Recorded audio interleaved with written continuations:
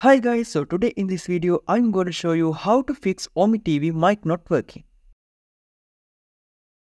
Let's get into the video.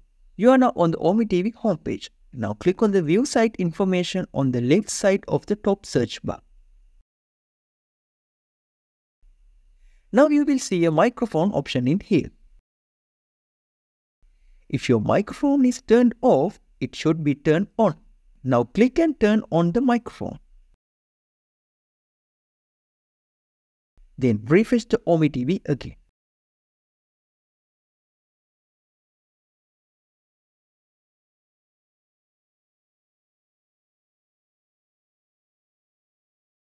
Then it should work.